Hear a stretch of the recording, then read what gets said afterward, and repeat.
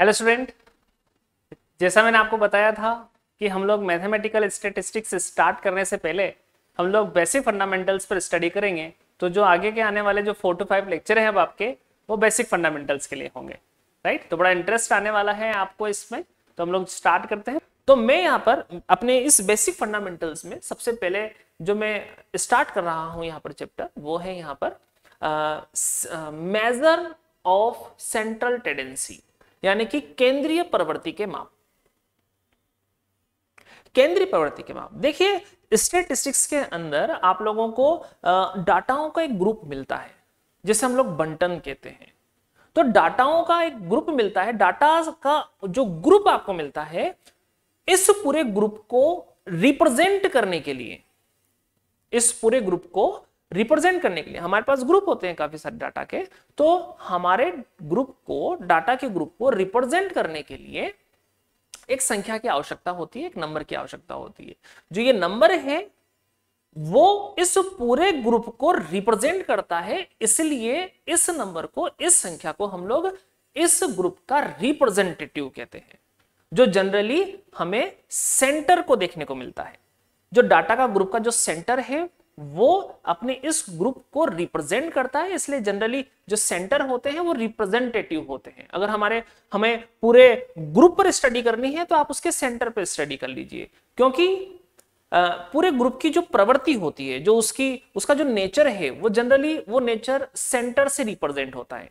जैसे आप लोग देख सकते हो कि एक क्लास है, और इस क्लास के अंदर काफ़ी सारे लड़के और लड़कियाँ हैं।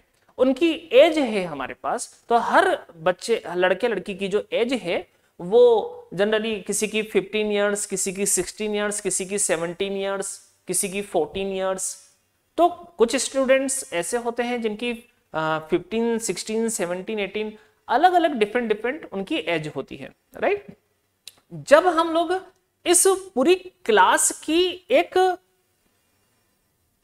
एज की बात करते हैं कि इस पूरे क्लास का एवरेज कितना है एज का तो वो उसका सेंटर होता है, राइट right? तो उसका सेंटर जो है, वो उस पूरे ग्रुप को रिप्रेजेंट करता है, इसलिए हम उसको जनरली ग्रुप को काम में लेने के लिए एक संख्या की हमें आवश्यकता होती है स्टेटिस्टिक्स के अंदर तो वो उसके लिए हमें सेंटर लिया जाता है तो सेंटर रिप्रेजेंटेटिव होता है और इस ग्रुप के अंदर हम लोग ये भी कह सकते हैं कि जो सेंटर होता है, वो उस पूरे ग्रुप के अंदर जो डाटा होते हैं, उनके जो नेचर होते हैं, वो उनके सिमिलर नेचर को रिप्रेजेंट करता है। जैसा नेचर चल रहा है, उसको रिप्रेजेंट करता है।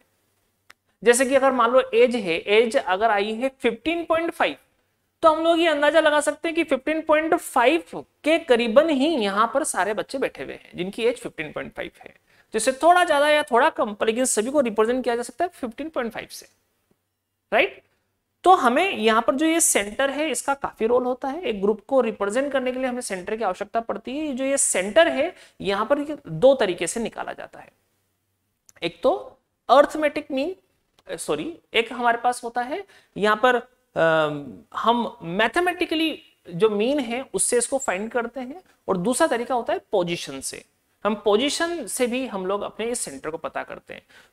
मैथमेटिकली जो मीन होते हैं या मैथमेटिकली जो हम लोग एवरेज निकालते हैं, जो सेंटर निकालते हैं, जो मैथमेटिकल हेल्प से हम लोग निकालते हैं, उसमें हमारी मदद करते हैं। अर्थमेटिक मीन ज्योमेट्रिक मीन और हार्मोनिक मीन यानी कि समांतर माध्य, गुणोत्तर माध्य और हरात्मक माध्य, जिन्हें हम लोग एम जीएम और एच एम कहते हैं। तो हम जब मैथमेटिकल मीन जब हम लोग फाइंड कर रहे होते हैं वहाँ पर तो वहाँ एम जीएम एच एम की हेल्प से हम लोग फाइंड कर रहे होते हैं।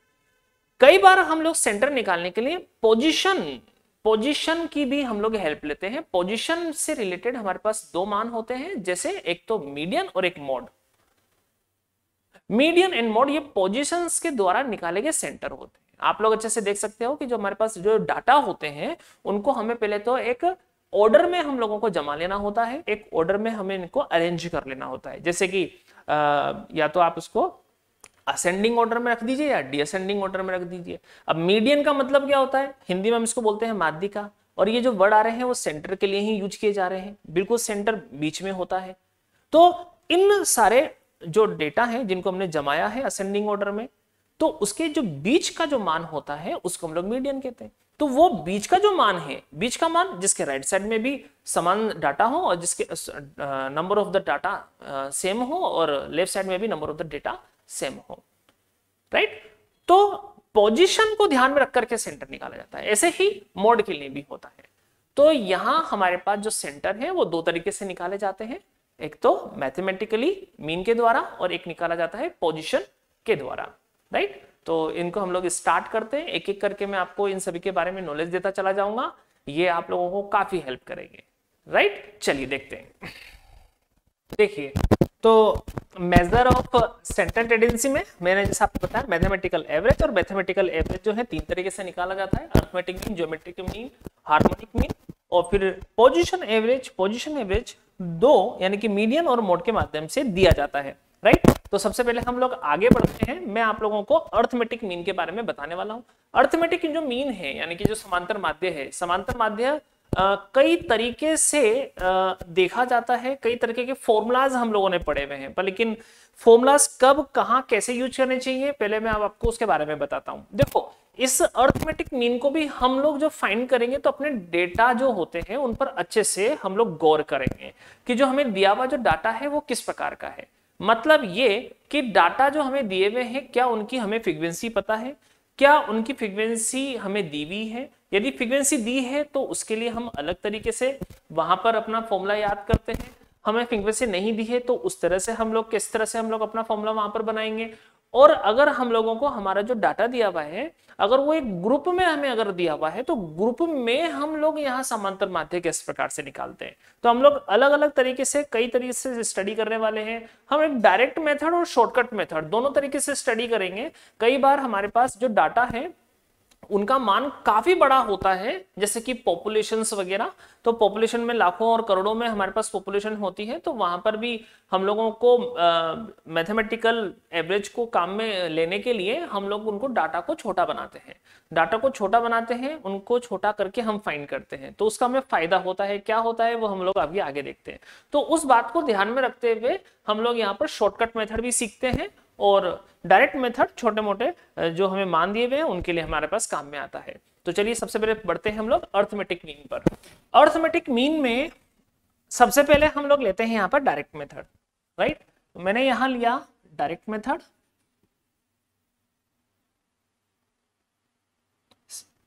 अब आप सोचेंगे डायरेक्ट मेथड क्या है? देखिए, यहाँ पर ऐसा जो डायरेक्ट मेथड है यहाँ पर इस डायरेक्ट मेथड को काम में लेने के लिए बिल्कुल सिंपल सी जो हम इसकी जो स्कूल में ही हम लोग परिभाषाएँ सीख करके आए हैं, उन्हीं को ही हम लोग यहाँ पर काम में लेंगे। राइट तो जैसे मैंने आपको बताया था कि अगर हमारे छोटे मोटे मान हो डाटा हो तो उनके लिए हम लोग जो उसका माध्यम निकालने के लिए जो हम लोग वर्किंग करते हैं, वही हमारे पास डायरेक्ट मेथड होता है। बल्कि जब मान बड़े हो तो उनको छोटा हम जब करते हैं तो उसके लिए हम लोग शॉर्टकट मेथड काम में लेते हैं। और उस विधि में हम लोग एक अज्यूम्ड मीन की कल्पना करते हैं, यानी कि कल्पित माध्य लेते हैं। इसके बारे में भी मैं भी आपको आगे बताऊँगा। तो सबसे पहले फटाफट हम लोग आगे बढ़ते हैं डायरेक्ट मेथड के लिए। बिल्कुल सिंपल सा। अब हम लोगों ने क्या पढ़ा है कि किसी का भी समांतर माध्य कैसे निकालते हैं? कि आंकड़ों का योग बटा आंकड़ों की संख्या, यानी कि the sum of the data divide by the number of the data right तो चलिए हम लोग यहाँ लेते हैं। बड़ा सिंपल सा है। देखिए जरा कि जैसे सपोज़ करो। अच्छा अब इसमें भी एक बात का और ध्यान रखें। यहाँ पर भी हम लोग जो है अपने डाटा का नेचर देखेंगे कि वो हमें किस प्रकार से दिया हुआ है। क्या वो हमारे पास फ्रिक्वेंसी के साथ दिया हुआ है या विदाउट फ्रिक्वेंसी के साथ दिया गया है? मतलब हमारे डाटा की बारंबारताएँ हमें पता है या नहीं पता है? और बारंबारताओं को भी, फ्रिक्वेंसी को भी आप लोग अच्छे से जानते हैं। फ्रीक्वेंसी का मतलब क्या होता है? एक बार मैं आपको दोबारा बताऊँगा। ध्यान दीजिए, फ्रिक्वेंसी और इस फ्रिक्वेंसी जो है, उसको हम लोग हिंदी में बोलते हैं बारम्बारता राइट? तो हिंदी वर्ड से आप लोगों को तुरंत पहचानने में आ जाएगा कि फ्रीक्वेंसी का अर्थ क्या है मीन क्या है। देखिए, जब कोई संख्या बार बार आती है तो बार बार कितनी बार आ रही है, वही उसकी बारंबारता है राइट कोई संख्या कितनी बार आ रही है तो बार बार कितनी बार वो आई, वही उसकी फ्रीक्वेंसी है, उसे वही उसकी बारंबारता है। अगर मैं यहाँ पर लिख रहा हूँ two three five two two seven five three three eight तो अगर आप यहाँ देखोगे तो मेरे पास यहाँ जो टू है, वो यहाँ पर तीन बार आया है, इसलिए टू की फ्रीक्वेंसी यहाँ पर थ्री हो गई है। यहाँ पर तीन है, जो तीन है, मेरे पास तीन बार आया इसलिए तीन की फ्रीक्वेंसी यहाँ पर तीन हो गई है। जबकि यहाँ पर फाइव दो बार आया है तो फाइव की फ्रीक्वेंसी टू हो गई सेवन और एट वन वन बार आया इसलिए इनकी फ्रीक्वेंसी वन है। राइट तो यहाँ पर हमारे पास जो है, हमें ये ध्यान रखना होता है कि हमारे पास जो डाटा अवेलेबल है, क्या उनमें फ्रीक्वेंसी है या नहीं है? मतलब वो बार बार रिपीट हो रहे हैं या नहीं हो रहे हैं? तो सबसे पहले हम लोग वर्क कर रहे हैं विदाउट फ्रीक्वेंसी पर। तो मैंने यहाँ पर लिया without frequency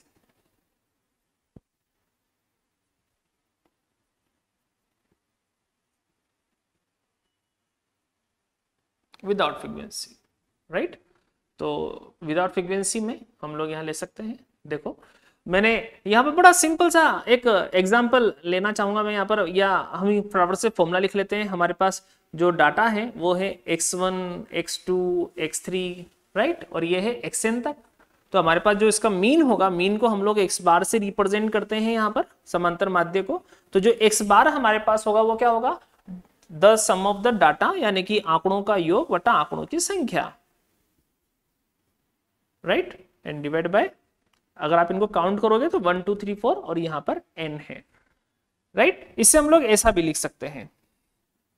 समीशन समीशन आप देखिए जरा, हमारे पास डाटा एन तक है, इसलिए आप लोग यहाँ लिख सकते हैं one to N and X I and divide by small N यही हमारा जो आप लोग पढ़ा करते थे स्कूल में, वो यही हमारा एक फॉर्मूला है। राइट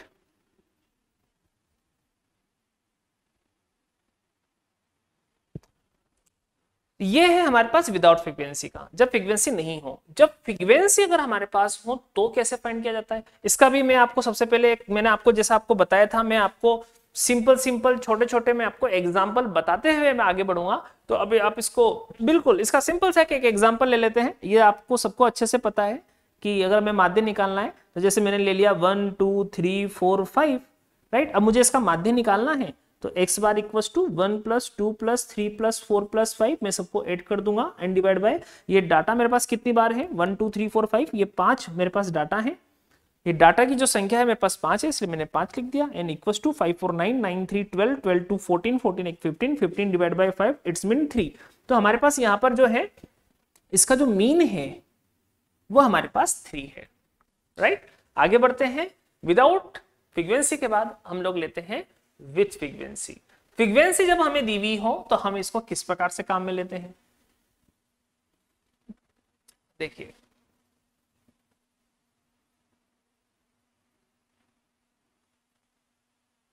फ्रीक्वेंसी के वक्त हम इसको किस प्रकार से काम में लेते हैं?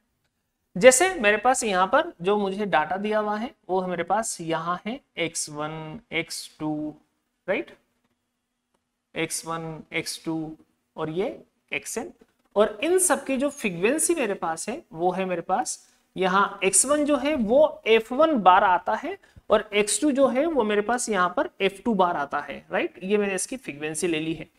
तो सब डाटा की यहाँ पर फ्रीक्वेंसी है। तो इसका जो फॉर्मूला हमारे पास होता है कि जब हमारे पास फ्रीक्वेंसी के साथ डाटा दिया हुआ होता है तो उसका जो मीन निकाला जाता है, वो मीन इस प्रकार से होता है, ध्यान दीजिए कि आप क्या करेंगे? आप डाटा को जो आपको मान दिया हुआ है, उस मान को उसके संगत फ्रीक्वेंसी से, उसके करस्पॉन्डिंग फ्रीक्वेंसी से मल्टीपल करके मल्टीपल करते जाइए और इन सभी को ऐड कर दीजिए।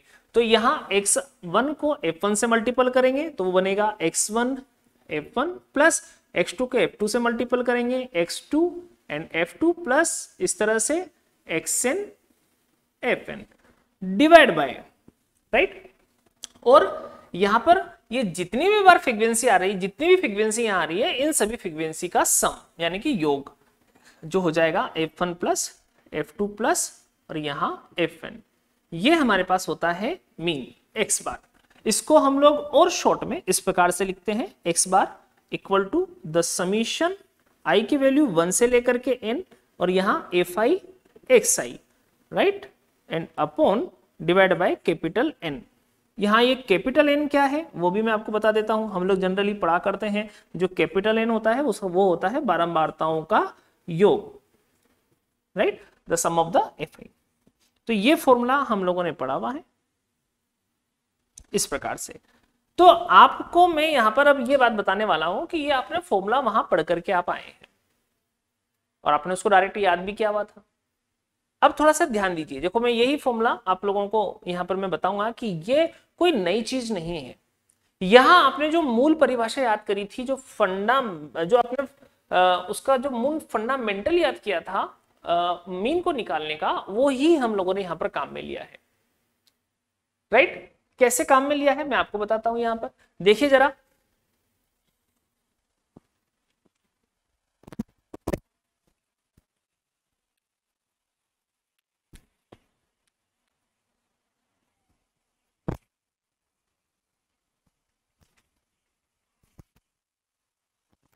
देखिए, मैं एक यहाँ पर एग्जांपल ले रहा हूँ राइट मैंने यहाँ पर एक्साई ले लिया है, यहाँ मैंने ले लिया टू फोर सिक्स एट और टेन राइट और इनकी मैंने फ्रीक्वेंसी यहाँ रख दी है वन टू थ्री फोर और फाइव राइट इसका पहले तो आप ये समझिए, इसका मीन क्या है? इसका मतलब क्या है? जो मैंने डाटा यहाँ लिया है, मैंने ऐसा लिख दिया। तो मैंने आपको बताया था अभी, इसका अर्थ क्या है? कि जो टू है, वो एक ही बार आ रहा है, जबकि फोर है, वो हमारे पास यहाँ पर दो बार आ रहा है। राइट छ है, वो हमारे पास यहाँ पर तीन बार आ रहा है, और जो यहाँ आठ है, वो चार बार आ रहा है, दस है, जो पाँच बार आ रहा है। ये हमारे पास डाटा है। नंबर ऑफ़ डाटा कितने हैं टोटल अगर आप यहाँ पर देखोगे नंबर ऑफ़ डाटा कितने हैं? कितना ये मान हमारे पास रखे। तो देखो, दो एक बार आ रहा है, चार दो बार आ रहा है।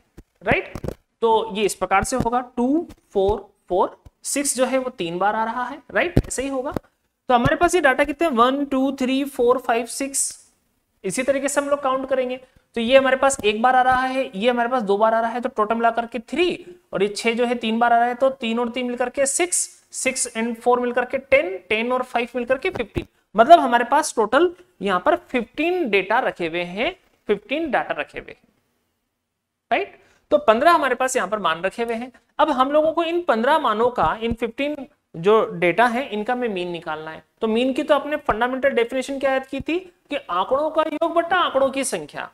The sum of the number and divide by the the number of जो आपके पास जो डाटा दिए हुए हैं, उनकी संख्याओं से आप उसको डिवाइड कर दीजिए। नंबर ऑफ़ डेटा से आप उसको डिवाइड कर दीजिए। राइट तो sum of the data and divide by number of the data तो आप इसको जब डिवाइड करोगे तो आप लोग देखिए जरा आप बिल्कुल आसानी से देख सकते हो यहाँ पर। मैं आपको ये बत, बात बता सकता हूँ यहाँ पर। देखो जरा ये टू जो है एक ही बार आ रहा है तो मैंने यहाँ लिख दिया है टू प्लस फिर ये जो चार है ये दो बार आ रहा है तो मैं डाटाओं का योग कर रहा हूँ। अभी ये चार है वो दो बार आ रहा है मैंने लिखा फोर प्लस फोर प्लस छह तीन बार आ रहा है तो six plus six plus six plus eight plus eight plus eight plus ten plus ten plus ten plus ten plus ten divide by और ये आप लोग देखिए टोटल कितने डाटा थे? मैंने आपको बताया था, ये टोटल मिलाकर के 15 थे।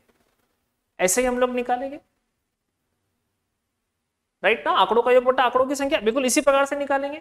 अब आप लोग यहाँ पर ये देख सकते हो कि ये मान बिल्कुल उसी प्रकार से निकाला जाएगा। तो यहाँ पर देखो, ये लिख रखा है टू प्लस अब ये फोर दो बार आ रहा है, इसलिए मैं इसको ऐसा लिख सकता हूँ। टू इंटू फोर प्लस ये छह तीन बार आ रहा है, इसलिए इसमें ऐसा लिख सकता हूँ। थ्री इंटू सिक्स आठ चार बार आया तो four into eight and plus five into ten and divide by 15 right आप यहाँ ये देखिए, जो हमने वर्क किया है, उसको देखिए आप लोग। ये ये जो हमने वर्किंग करी है, जब हम वर्किंग करके यहाँ पर आएँगे तो यही हमारे पास फॉर्मूला याद करवा दिया जाता है। आप लोग देख सकते हो यहाँ पर, मैंने अभी आपको बताया था करस्पॉन्डिंग फ्रीक्वेंसी से मल्टीपल करके ऐड कर दीजिए। ये वाला जो हमने काम किया है। अगर आप इसको देखोगे तो यहाँ आप देख सकते हो, हमारे पास ये टू रहा प्लस उसके बाद हमारे पास यहाँ पर फोर रहा। अब फोर की फ्रीक्वेंसी टू सिक्स की फ्रीक्वेंसी थ्री एट की फ्रीक्वेंसी फोर टेन की फ्रीक्वेंसी फाइव इन सभी के डाटा को इनकी फ्रीक्वेंसी के साथ हम लोगों ने यहाँ पर मल्टीपल करके एड करके वहाँ पर हमने पढ़ा था, वो बिल्कुल इसी से मैच कर रहा है। राइट एंड डिवाइड बाय यहाँ पर हमने लिखा था कि सभी जितनी भी फ्रीक्वेंसी है, उनको आप लोग यहाँ पर एड कर दीजिए सम कर दीजिए उनका। तो उसका मीन यही होता है कि आपके पास टोटल नंबर ऑफ़ डाटा कितने हैं। राइट तो ये हमारे पास total number of data fifteen और उससे हमने डिवाइड कर दिया। तो हमारे पास ये फॉर्मूला बना। तो ये कोई नया फॉर्मूला नहीं है, ये इसके फंडामेंटल से ही निकल के आया है। आंकड़ों का योग बटा आंकड़ों की संख्या, जैसा हम लोग देख रहे हैं। राइट चलिए तो ये आपको बात अच्छे से समझ में आ चुकी है। तो आपको क्या है कि सीधा यहाँ पर फॉर्मूला हम लोगों को मिल गया है।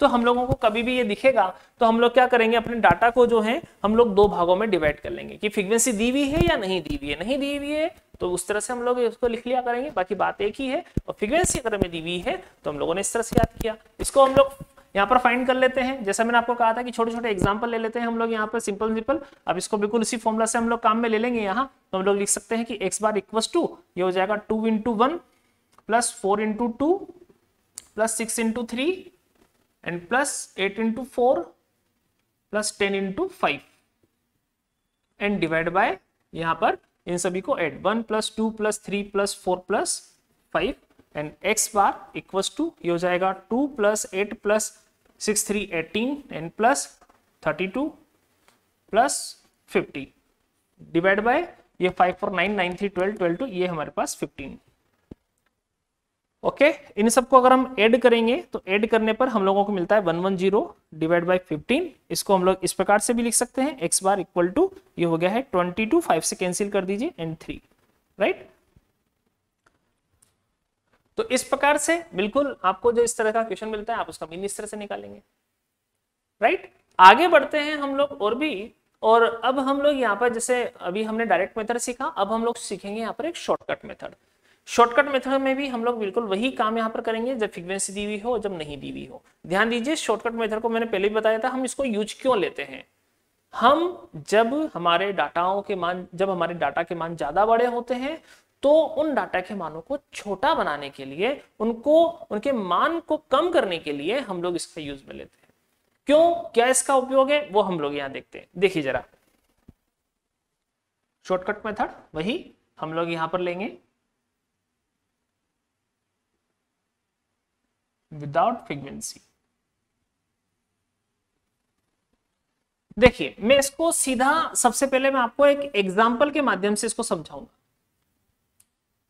कि शॉर्टकट मेथड को मैं काम में कैसे लेना है। एग्जांपल के माध्यम से। अभी मैंने यहाँ पर कोई डेटा लिया है यहाँ, एक साई और मैंने ये पूरा यहाँ पर लिखा, जैसे मेरे पास है 200 198 राइट 204 फिर है 199 और यहाँ पर मैंने ले लिया है two zero and two, correct?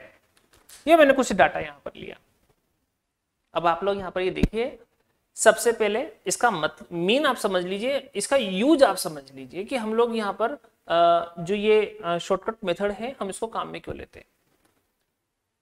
देखिए, यहाँ पर हमारे पास, जैसे हमें पता है कि अगर हम इंडिया की पॉपुलेशन की बात करें, या फिर हम लोग जो पूरी इंडिया में किसी डिज़ीज़ से जो पीड़ित हैं, जो मरीज़ हैं, जो पेशेंट हैं, अगर हम उनकी बात करें कि एक स्पेसिफाई एक डिज़ीज़ से कितने पेशेंट इंडिया में हर साल मरते हैं, अगर हम उनकी बात करें।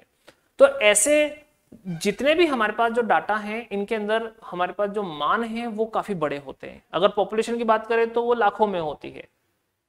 अब लाखों में अगर पॉपुलेशन होती है और अगर हम वहाँ पर मीन निकाल रहे हैं और हमारे पास पॉइंट वन की भी अगर मिस्टेक होती है तो पॉइंट वन की मिस्टेक से भी वहाँ पर हज़ारों में, लाखों में चेंजेस होने को मिलता है। राइट तो जब डाटा का मान बड़ा होता है, करोड़ों में, अरबों में तो वहाँ एक पॉइंट भी लाखों में एक इफ़ेक्ट हमें ला करके देता है। सही बात है। और दूसरी बात ये कि अगर डाटा का मान ज़्यादा बड़ा होगा और हम लोग कैलकुलेशन कर रहे होंगे तो ज़ाहिर सी बात है कि कैलकुलेशन भी काफ़ी बड़ी बड़ी हमारे पास होंगी मतलब काफ़ी कॉम्प्लिकेटेड टाइप होंगी। अगर वहाँ पर कोई गलती हो गई तो इतने बड़े डाटा में, इतने बड़े कॉम्प्लिकेशन में उस गलती को, उस एरर को ढूंढ पाना हमारे लिए कठिन होता है। तो इसकी सुविधा के लिए हम लोग क्या करते हैं कि हमारे जो मान होते हैं, जो बड़े बड़े जो डाटा होते हैं, उनके मानों को छोटा कर दिया जाता है। अब छोटा करने के लिए काम क्या किया जाता है? उसके लिए हम लोग एक अपनी तरफ़ से एक संख्या मानते हैं, जिसे हम लोग बोलते हैं कल्पित माध्य। कल्पित माध्य, जिसको इंग्लिश में कहा जाता है अज्यूम्ड मीन हम उसको अज्यूम करते हैं। हम एक ऐसा, हम एक ऐसा मान वहाँ पर लेते हैं, जिससे अपने डाटा को छोटा बनाया जाता है।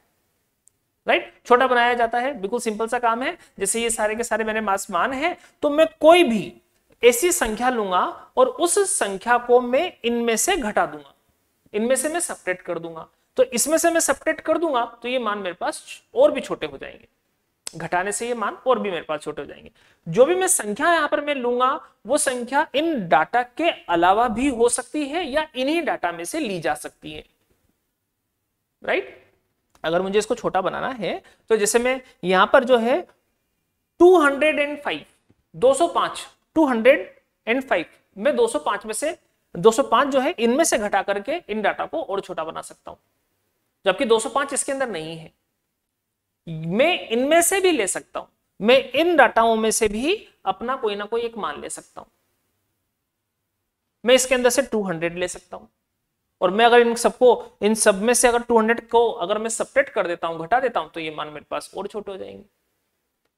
तो इससे फ़ायदा क्या होता है? इससे फ़ायदा ये होता है कि अगर हम हमारे मानों को अगर छोटा कर लेते हैं, डाटा को अगर हम छोटा कर लेते हैं, उनके मान अगर हम कम कर देते हैं तो आगे बाई चांस अगर हमारे पास कोई गलती होती है अगर हमारे कैलकुलेशन में तो छोटे डाटाओं में कैलकुलेशन में छोटे डाटाओं में जब कैलकुलेशन की जाती है तो उसमें गलती पकड़ने की संभावना भी हमारे पास कम हो जाती है। उसके अंदर हम गलतियाँ जल्दी से ढूंढ लेते हैं कि अरे यहाँ पर गलती हो गई है, यहाँ पर इतना होगा। तो कैलकुलेशन भी आसान हो जाती है छोटे डाटाओं से और गलतियों को ढूंढ पाना भी हमारे लिए आसान हो जाता है। राइट तो यहाँ पर एरर होने की चांस एरर की जो चांसेस होते हैं वो कम हो जाते हैं। करेक्ट तो जैसा मैंने आपको बताया कि जो आप एज्यूम मीन मानते हैं, जो संख्या आप ले रहे हैं, जिससे आप अपने डाटा को कम कर रहे हैं, वो आप डाटा इन डाटाओं के बाहर भी ले सकते हैं मतलब कहीं और भी अदर भी ले सकते हैं संख्या को या इन्हीं में से ही ले सकते हैं। पर लेकिन जनरली आपको जो डाटा दिया हुआ हो, आप उन्हीं में से ही लिया करें। उन्हीं में से ही आप लोग संख्या को लिया करें। तो इससे हमारे पास और सुविधा होती है, और आसानी होती है। कैलकुलेशन में भी हमारे पास छोटे छोटे मान प्राप्त होते हैं। अब सबसे पहले आपको काम क्या करना है? सबसे पहले काम को काम करना है कि जो भी आपको डाटा मिलेगा, जो भी आपके पास जो आंकड़े हैं, उनको सबसे पहले आप लोग एक क्रम में जमाइए। या तो आप उसको असेंडिंग ऑर्डर में जमाओ या फिर उसको आप डिसेंडिंग ऑर्डर में जमाओ। तो सबसे पहले काम होता है कि जब भी डाटा मिले आपको, पहले आप उसको एक अरेंज करो एक ऑर्डर में। तो हम असेंडिंग ऑर्डर में सबसे पहले इसको जमाएँगे। तो इन्हें हमने यहाँ पर लिखा कि सबसे पहले छोटी संख्या हमने लिख ली है, जैसे 198 तो हमने लिखा 198 फिर उसके बाद है 199 और 199 के बाद है, फिर हमारे पास 200 और हमारे पास 200 के बाद है 202 एंड 204 राइट अब कोई भी हम लोग यहाँ पर अपना अज्यूम मीन ले सकते हैं, हम अपना कल्पित माध्य ले सकते हैं, जो हम इसमें से घटा करके डाटा को छोटा बनाएँगे। हम लोग देखो ऊपर ऊपर वाला मान 198 भी ले सकते हैं, हम लोग नीचे नीचे वाला मान 204 भी ले सकते हैं, हम कुछ भी ले सकते हैं। पर फिर मेरी बात को ध्यान दीजिए, हम इसमें भी क्या क्या करेंगे, हम जनरली इसमें जो बिल्कुल मिड में है, हम उसको लिया करेंगे। अब जैसे यहाँ पर one, two, three, four, five है, अगर मान लो एक संख्या और होती टू ज़ीरो सिक्स और इसके मिड में अगर हम देखते तो मिड में अगर हम देखते तो हमारे पास 200 भी है और 202 भी है। अगर आप देखोगे तो 200 है 200 के ऊपर तो आप सोचोगे कि जब हमारे पास सिक्स डाटा है तो फिर हम बीच का मान कौन सा लें? तो आप देखो 200 भी ले सकते हो और 202 भी ले सकते हो। आप केवल काम क्या कर रहे हैं? आपके डाटा को छोटा बनाने का राइट तो आप कुछ भी ले सकते हो इसके अंदर से, जिसके लिए कैलकुलेशन आसान हो। तो जैसा हमको मैं बता रहा हूँ कि आप जनरली काम क्या, किया करें? जो आपको जनरली मिड में जो वैल्यू मिलती है, आप उसको लिया करें। तो ठीक? तो जैसे भी मैंने यहाँ पर अपना जो मान था, वो 204 था और यहाँ। तो मैंने यहाँ पर क्या किया कि ये जो 200 है, इसको मैंने यहाँ पर अज्यूम्ड मीन ले लिया, इसको मैंने यहाँ पर ए मान लिया राइट तो आप अज्यूम्ड मीन जिसको आप ले रहे हो, जिससे आप लोग डाटा छोटा कर रहे हो, वो वाली संख्या, जैसे डाटा छोटा किया जा रहा है, उसको हम लोग ए लिखा करते हैं और इस ए का मतलब होता है अज्यूम्ड मीन यानी कि कल्पित माध्य। ये केवल इसलिए ही काम आ रहा है कि हम लोग अपने जो डाटा है उनको छोटा कर रहे हैं। अब आप लोग काम क्या करें? इसको सेपरेट करते जाइए। तो आप लोग देखो 198 है। 198 में से आपने यहाँ पर सेपरेट कर दिया 200 राइट फिर यहाँ 199 है। अब आपने 199 में से सेपरेट कर दिया यहाँ पर 200 राइट तो यहाँ पर हमारे पास आ जाएगा। तो इस तरह से हम लोग काम क्या कर रहे हैं? हम लोग यहाँ पर इन डाटा में से 200 को जो हमने माना है, उसको सेपरेट कर रहे हैं। तो इसको हम लोग सिंबल फॉर्म में ऐसा लिख सकते हैं। X I minus A X I minus A और इस एक्स आई माइनस ए का अर्थ यही हुआ कि हम एक्स आई में से अपने ए को सेपरेट कर रहे हैं और जो भी मान हमें मिल रहा है, उसको हम लोगों ने यहाँ पर डी आई कहा। राइट उसको हम लोगों ने यहाँ पर डी आई कहा। इस डी आई का मतलब होता है डेविएशन यानी कि विचलन। राइट डी आई आप लोग क्या कर रहे हैं? आप लोग वहाँ पर अंतर निकाल रहे हैं। आप लोग यहाँ पर इसका डिफरेंस जो ले रहे हैं, वो आप लोग यूज़ में ले रहे हैं। तो 200 से टू हंड्रेड को आप सेपरेट करके उससे डिफरेंस ले रहे हैं, उससे आप लोग विचलन निकाल रहे हैं, उससे हम लोग डेविएशन कहते हैं। इस डेविएशन की वजह से हम लोग इसके आने वाले मान को डीआई लिखते हैं। हमने यहाँ पर डीआई लिखा है। डीआई क्यों लिखा है? क्योंकि हम लोग यहाँ पर एक्स आई पर जब चलेंगे तो एक्स आई का मतलब एक्स आई का मतलब आई के इतने हैं आपके पास? आई हमने यूज़ किया है one two three four five हमारे पास पाँच डाटा है तो पहले वाला हो जाएगा x1 दूसरा वाला हो जाएगा x2 x3 x4 x5 तो यहाँ पर xi है, अर्थात पहले वाला डाटा के लिए हमारे पास d1 मिल जाएगा, दूसरे वाले डाटा के लिए हमारे पास विचलन d2 मिल जाएगा, फिर d3 d4 d5 राइट इसलिए हमने यहाँ पर भी di लिखा। यूज़ में लेते हैं। तो आप लोग आसानी से देख सकते हो। मैं यहाँ पर इसको सपरेट कर दूँगा तो 198 है 200 सपरेट किया, मुझे यहाँ पर कितना मिल जाएगा? ये हो जाएगा माइनस का टू फिर 199 है, ये सपरेट कर देंगे माइनस का वन 200 को सपरेट कर देंगे तो ज़ीरो और यहाँ पर हमारे पास टू और यहाँ पर हमारे पास फोर राइट 200 को सपरेट करेंगे। तो अब आप लोग यहाँ पर ये देखिए कि यदि अगर आप देखते हैं तो देखो, हमने जो यहाँ पर मान लिए हैं, जो हमारे पास जो डाटा था, हालाँकि ये भी काफ़ी छोटा है। तो इसके हमें हमें ये शॉर्टकट मेथड पढ़ने की आवश्यकता नहीं थी, हम अपने नॉर्मल तरीके से भी इसको सोल्व करते पर मैंने आपको क्या कहा कि ये एग्ज़ाम्पल मैं आपको केवल सिखा रहा हूँ कि आप लोग कब यूज़ में लेते हैं, कल्पित माध्य है, कब आप इनको काम में लेते हैं। जनरली इसको हम सबसे ज़्यादा काम में तब लिया करते हैं जब हमारे पास डाटा काफ़ी बड़े हुए हो राइट तो इनको भी हम लोग जब इसको, इस विधि से हम लोग हल कर रहे हैं तो आप लोग देखिए जरा कि यहाँ पर जो हमारे पास जो डाटा था ये अभी फ़िलहाल हम ये मान के चलते हैं ये काफ़ी बड़ा है। अब ये जो काफ़ी बड़ा मान है आप लोग देखिए जैसे विचलन आपने काम लिया तो अब आपके पास जो डाटा बन गया है वो है minus two minus one zero two and four. तो इनको कैलकुलेट करने की जगह अगर हम इनको कैलकुलेट करेंगे तो हमारे लिए ज़्यादा आसान होगा। और अगर कहीं गलती हो गई तो गलती पकड़ने की भी संभावना हमारे पास जो है आ, कम हो जाएगी। गलती भी हम लोग तुरंत पकड़ सकते हैं वहाँ पर। अगर हम इनको अब, अब जैसे आप देखिए इनको जोड़िए तो इनको जोड़ना है हमें। तो इनको जोड़ने की अपेक्षा अगर हम इनको अगर जोड़ें इनको ऐड करें तो इनको ऐड करना ज़्यादा आसान है क्योंकि एक प्लस का होगा एक माइनस का होगा कैंसिल हुआ। और अगर मान लो सारे प्लस के होते तो छोटी छोटी संख्या हमारे पास होती यहाँ पर उनको जोड़ना हमारे लिए ज़्यादा आसान होता। राइट ना तो इनकी अपेक्षा इन डाटाओं पर वर्किंग करना ज़्यादा आसान है। इसलिए हम लोग यूज़ में लेते हैं कल्पित बात। अब आप लोग यहाँ पर देखिए कि अब हम लोगों को काम क्या करना है? हमारा काम था मीन निकालने का, माध्य निकालने का। अब माध्य निकालने के लिए हमें किस प्रकार से माध्य निकालना है, वो देखिए। तो आप लोग सबसे पहले ये ध्यान रखिएगा, मैं आपको फिर बता रहा हूँ यहाँ पर बात तो बहुत गौर से सुनिएगा कि आपके पास ओरिजिनल जो डाटा दिए हुए थे, वो तो ये रहे। पर आप इन पर स्टडी करने की जगह, इनको छोटा करके आप इन इन पर स्टडी कर रहे हैं। मतलब आप अब एक्साई की जगह, अब आप लोग डीआई पर स्टडी कीजिए। राइट तो अब हम लोग डीआई पे स्टडी करेंगे और यहाँ से हम लोग अपना मीन निकालेंगे। और कैसे निकालेंगे, किस तरह से निकालेंगे, ये सब मैं आपको बताने वाला हूँ यहाँ पर।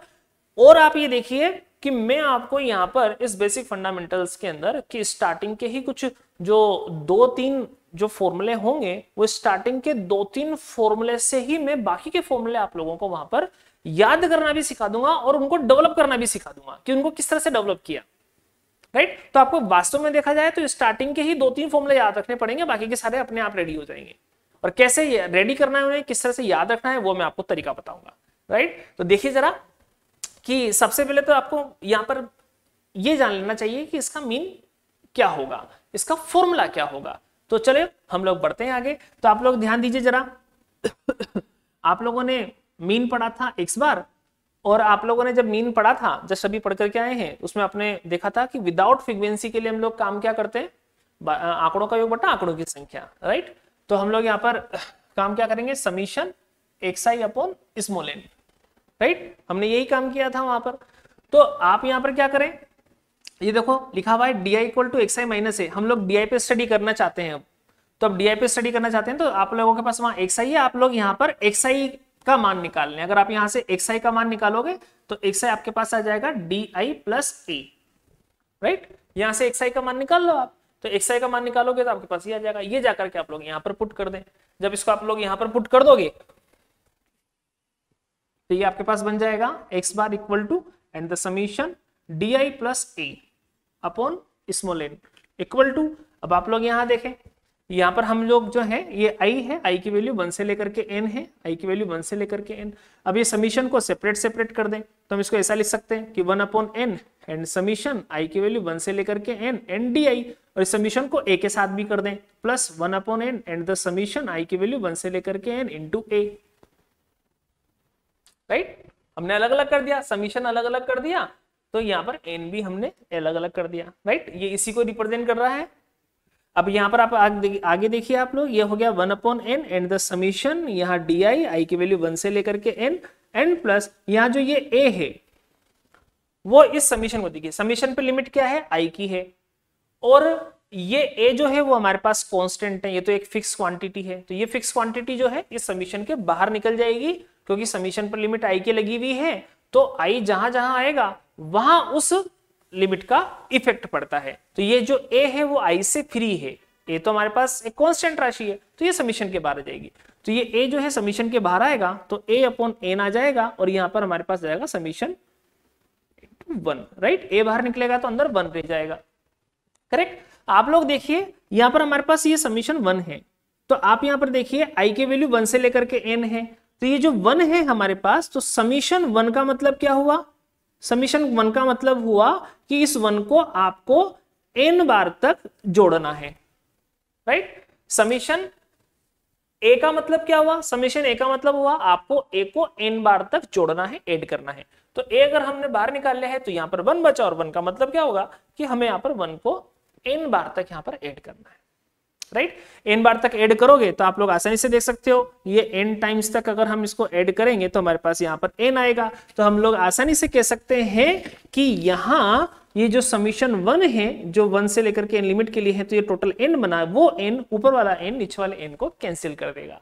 तो हमारे पास यहाँ पर जो मीन आया है, वो मीन बन गया है A plus and summation D I I की वैल्यू वन से लेकर के N N upon small N right तो ये इसका फॉर्मूला रहा। करेक्ट तो आपको जब आप लोग अज्यूम्ड मीन काम में ले रहे हो तो आप लोग इस फॉर्मूले को काम में ले। अब ये भी आपको मैं याद करना बता दूँगा कि इसको आपको किस तरह से याद रखना है।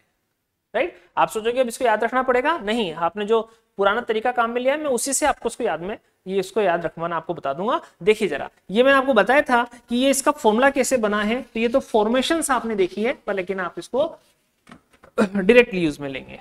राइट तो पहले तो हम लोग अपना फॉर्मूला ले लेते हैं यहाँ कि मीन जो है वो क्या होगा?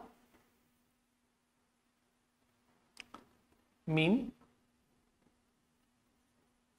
X bar equals to A plus summation I के वैल्यू वन से लेकर के N D I upon small N right तो अगर हम इसका मीन निकालेंगे तो आप लोग देख सकते हो इसका मीन क्या होगा? इसका मीन होगा एक्स बार इक्व टू यहाँ ए ये ए कितना माना था आपने? 200 तो आप यहाँ पर लिख लेंगे 200 तो 200 and plus summation D I ये जो डी आई है, ये रहा मान आपके पास। इस डी आई का समीशन इन्होंने कहा है। समीशन का अर्थ होता है ऐड करना। तो ये जितने भी मान हैं आपके पास, इन सबको आप ऐड कर दीजिए। अगर मैं इनको ऐड करूँगा तो देखिए इनको ऐड करना कितना आसान हो गया है। प्लस का टू माइनस का टू कैंसिल हो गया है फोर माइनस वन यहाँ पर हमारे पास थ्री आ गया है। तो यहाँ पर हमारे पास हो जाएगा three divide by small N small N का मतलब number of data number of data कितने हैं आपके पास? One two three four five तो हमारे पास ये फाइव है, हम लोग इसको यहाँ पर फाइव लिख देंगे। करेक्ट तो हमारे पास जो ये है एक्स बार की जो वैल्यू है, वो हो गई है।